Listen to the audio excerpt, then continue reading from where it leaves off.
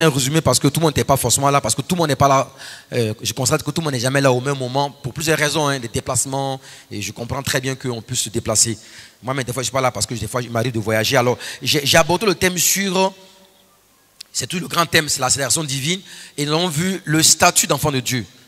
Euh, on a vu, on a vu, j'ai introduit les douze privilèges euh, liés au statut d'enfant de Dieu. Bon, j'ai statut c'est un peu compliqué, alors j'ai peut-être dit les douze privilèges d'un enfant de Dieu. C'est plus simple. Les douze privilèges d'un enfant de Dieu. Et voilà les, douze principaux privilèges d'un enfant de Dieu. Et j'ai montré assez rapidement euh, que quand nous sommes en Christ, nous, nous qui avons cru en Christ, nous sommes plus poussière, nous sommes délivrés de la poussière parce que nous avons été délivrés du pouvoir de l'ennemi et Christ nous a affranchis nous sommes plus charnels, nous sommes spirituels. Et j'ai montré que dans l'œuvre que Christ a accompli, il fait de nous des enfants de Dieu il nous justifie. Ça signifie clairement ceci, il nous rend justes. Pas que nous ne sommes pas pécheurs, mais lui, il nous reconnaît comme non coupables parce qu'on a cru en lui. Je vais revenir tout à l'heure. Deuxième privilège, deuxième privilège, il nous a délivrés de l'esclavage du péché. Il nous a délivrés de l'esclavage du péché.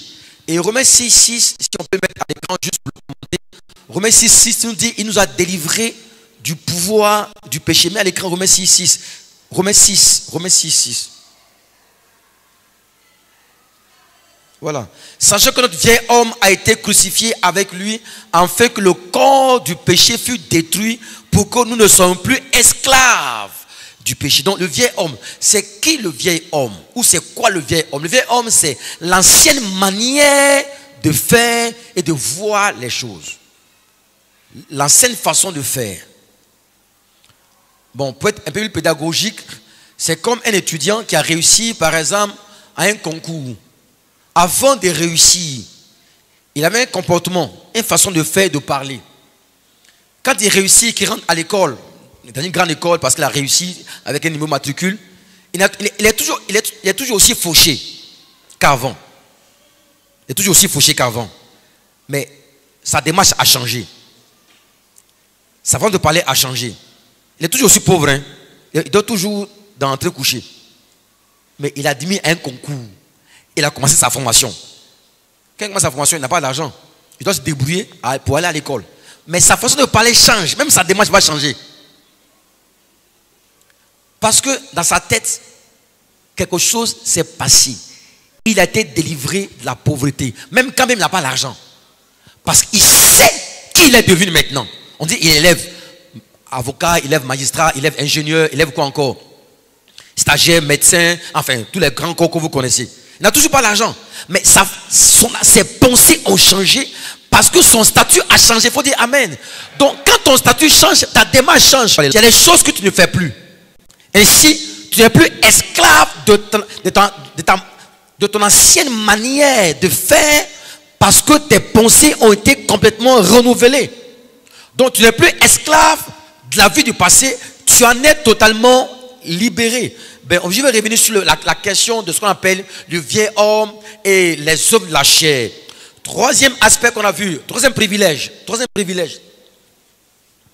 Je peux vous encourager, si ça ne vous gêne pas, euh, pour ce séminaire que je considère comme fondamental, si vous pouvez acheter un stylo, avec, venir avec un cahier, une Bible, ça serait pas mal, parce que dans ce séminaire, je vais enseigner, je vais vraiment enseigner. Je crois que l'enseignement, la prédication enflamme elle allume, elle euh, soulève. Mais l'enseignement vous te pose, te pose, enfin, c'est ça? Te, te stabilise, t'établit, t'établit en profondeur. Donc, si un stylo avec un cahier, ça serait pas mal. Donc, troisième privilège, quand on devient enfant de Dieu, c'est que nous sommes délivrés du pouvoir des ténèbres. Chapitre 1, verset 13 euh, nous dit ceci. Il nous a transporté, mets le passage à l'écran, il nous a transporté, il nous a transféré du pouvoir des ténèbres. Mets à l'écran le, passage de Colossiens chapitre 1, verset 13 verset 14. Il dit, il nous a délivré de la puissance des ténèbres et nous a transporté dans le royaume du Fils de son amour.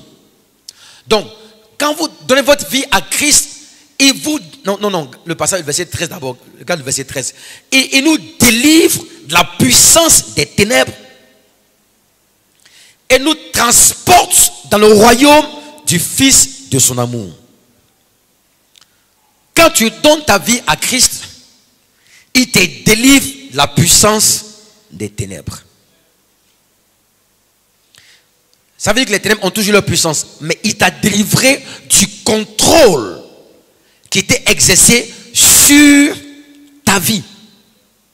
Tu, es, tu en es libéré. Pour quelle raison? Le verset 14 nous dit qu'il nous a délivrés et il, explique pourquoi. Le verset 14 explique pourquoi nous sommes délivrés. Mais le verset 14 maintenant, en qui nous avons la rédemption et la rémission des péchés. Donc, il nous a délivrés la puissance des ténèbres et nous a transportés, nous a transférés.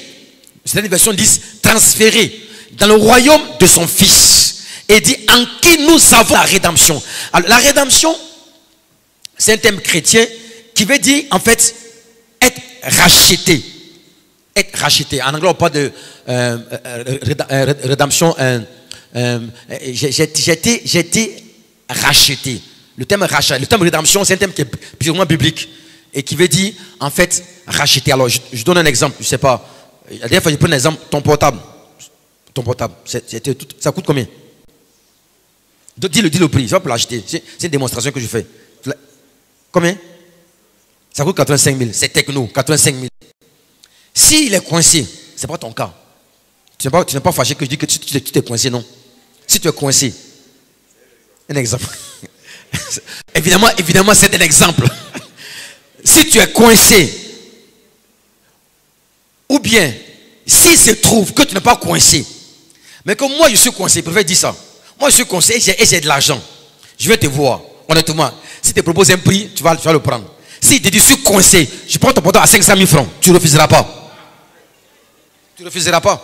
Parce qu'il coûte 85 000, tu te proposes 500 000. Et après, tu, tu acceptes tout de suite. Vite même. Donc, qu'est-ce que je fais? Je, je rachète son portable. Est-ce qu'il peut le réclamer?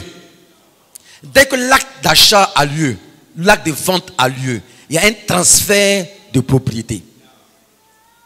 Un transfert de propriété.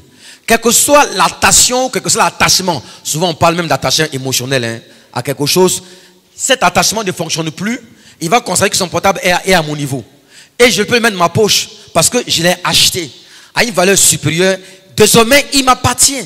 Il ne peut pas le réclamer. On appelle ce acte de rachat, on appelle ça en, théologie la rédemption. Dis avec moi la rédemption.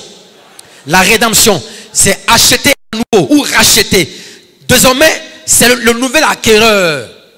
Le nouvel acquéreur qui en est le propriétaire.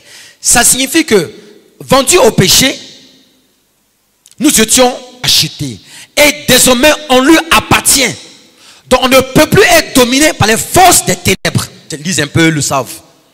Lorsqu'il y a eu la traite des Noirs, notamment aux États-Unis, c'était propriétaire, parce que tous les Blancs, faut pas les confondre, tous les Blancs n'étaient pas esclavagistes.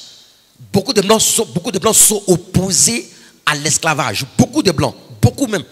Ils étaient nombreux racheter les esclaves. Il partait voir les propriétaires dire je, j'achète. Qui a appris ça? On a appris ça à l'université à l'école. Mais il se trouve que le pire, c'est que c'était les esclaves qui avaient été rachetés, refusaient de partir de l'esclavage. Il dit non, non, parce que toute sa vie il était esclave. Il a quitté, on, on, t'a libéré. Et puis on m'a libéré comme ça. Hein. Il dit non, non, il n'est pas chez son patron. Parce qu'il n'est pas prêt à se prendre en charge. C'est l'histoire de beaucoup de chrétiens. Ils sont libérés de l'esclavage, de la puissance du diable, mais ils refusent de partir de, l'ennemi. Donc, ils ont tous la mentalité d'une personne qui est liée, alors que tu n'es plus lié. Est-ce que personne comprend mon exemple? C'est de l'histoire et c'est vrai. C'est vrai. Donc, il nous a rachetés. Quand on te rachète, il faut arriver à te prendre en charge maintenant et entrer dans tes droits. C'est pourquoi, on parle des droits de la rédemption.